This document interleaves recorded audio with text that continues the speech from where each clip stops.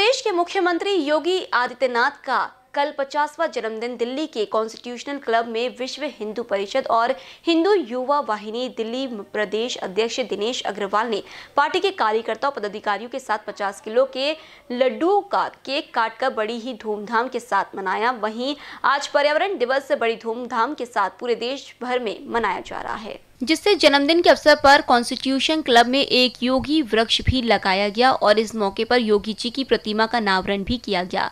बाबा योगी आदित्यनाथ की प्रतिमा बिल्कुल उन्हीं की तरह दिख रही थी।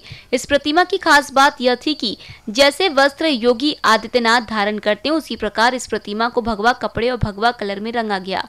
विश्व हिंदू महासभा दिल्ली प्रदेश अध्यक्ष ने बताया कि उत्तर प्रदेश के यशस्वी और गौरवशाली मुख्यमंत्री का पचासवा जन्म दिवस हम बड़े धूमधाम के साथ मना रहे हैं। इस मौके पर कॉन्स्टिट्यूशन क्लब में एक अवतरण दिवस पर बड़ा प्रोग्राम आयोजित किया गया है, जिसमें हिंदू युवा वाहिनी के कार्यकर्ता सभा के काफ़ी संख्या में आए हुए हैं। और हम उनकी लंबी आयु की कामना करते हैं और क्या कुछ का मीडिया के सामने आइए सुनते हैं इस रिपोर्ट में।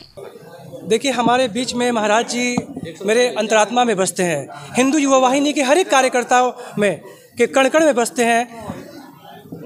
मैं यही कहूँगा कि हम भले महाराज जी अभी उत्तर प्रदेश की राजधानी में हैं, लेकिन हमारे बीच में साक्षात आप उनकी प्रतिमा को देख सकते हैं, जो साक्षात हमारे बीच में खड़े हैं। एकलव्य की भांति अपने द्रोणाचार्य की पूजा करते हुए, उनका जन्म, उनका अवतरण दिवस मनाते हुए।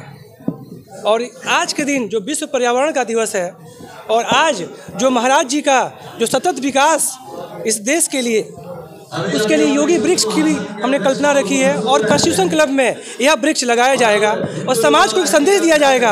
आप भी अपने आने वाली पीढ़ियों के लिए पौधारोपण करें ताकि आपकी पीढ़ी आने वाले समय में उस भारत के भविष्य को उत्तम बना सके।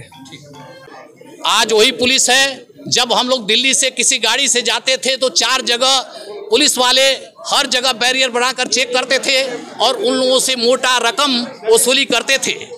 जब से महाराज जी की सरकार बनी 2017 से, अभी तक दूसरा कार्यकाल चल रहा है। अभी तक मैं करीब बीसों बार गए होंगे गोरखपुर। लेकिन कहीं भी बीच में पुलिस वाले गाड़ी किसी, हमारे नहीं, किसी का भी नहीं रोकते हैं और सब लोग अपना गाड़ी लेकर के, चाहे देवरिया जाना हो, चाहे गोरखपुर, चाहे लखनऊ, सब लोग आराम से जा रहे हैं।